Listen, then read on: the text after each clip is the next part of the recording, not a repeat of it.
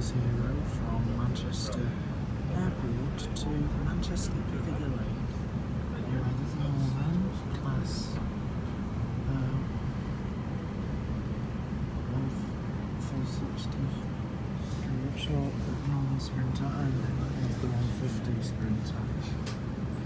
Now this is a faster to zero, just like the ones on